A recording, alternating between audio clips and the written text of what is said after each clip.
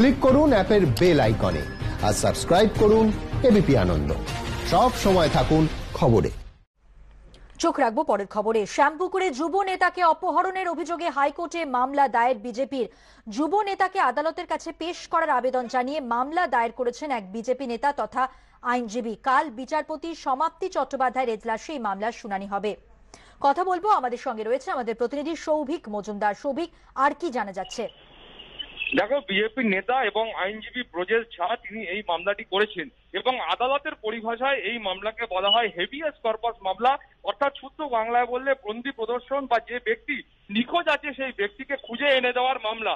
সেই মর্মে এই মামলা হয়েছে এবং তার অভিযোগ হলো, কালকে নবান্ন অভিযান যেটা আছে, আগামীকাল তার সমর্থনে গতকাল বিজেপির তরফ থেকে শ্যামপুকুর অঞ্চলে একটি সভা করা হচ্ছিল এবং সভা শেষ হওয়ার পর রাত প্রায় সাড়ে নটা নাগাদ সবার স্থল থেকে দেড়শো থেকে দুশো মিটার দূরে হঠাৎ করে দুটি গাড়ি আসে এবং দুটি গাড়ি এসে এই পঙ্কজ সিঙ্গানিয়া সাত নম্বর ওয়ার্ডের যুব নেতা বিজেপির তাকে তুলে নিয়ে যায়। এবং যেটা বিজেপি কর্মীদের এবং পরিবারের তরফ থেকে অভিযোগ ছিল যে, কেন তাকে তুলে নিয়ে গেল, কারা তাকে তুলে নিয়ে গেল, সেই কোনো বিষয়টাই কিন্তু স্পষ্ট নয়। কিন্তু ইতিমধ্যে পুলিশ সূত্রে খবর যে, পুরনো কোনো এক মামলার সূত্রে এই বিজেপির, যে যুব নেতা পঙ্কজ সিঙ্গানিয়া তাকে আটক করা হয়েছে।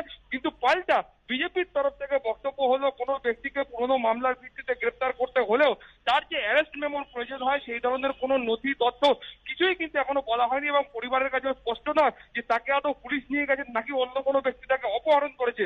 অতএব সেই কারণেই তাকে আদালতের সামনে হাজির করার দাবি নিয়ে এই মামলা করা হয়েছে এবং আগামীকাল যখন এই মামলার বিচার পর্ব আরম্ভ হবে, সেই সময় গোটা বিষয়টা স্পষ্ট হবে। কিন্তু তার পাশাপাশি বিজেপির যেটা আরও বক্তব্য যে কালকের যে নবান্ন অভিযান আছে, সেই অভিযানকে দিকে দিকে পাঞ্চাল করার জন্য তৃণমূল পুলিশের সাহায্য নিয়ে এই কর্মকাণ্ড তারা দিকে দিকে শুরু করেছে, এমনটাই কিন্তু বিজেপির তরফ থেকে অভিযোগ। ধন্যবাদ সৌভিক